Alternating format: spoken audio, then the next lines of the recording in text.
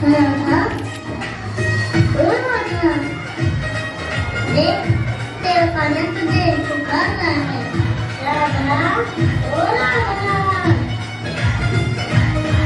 sedih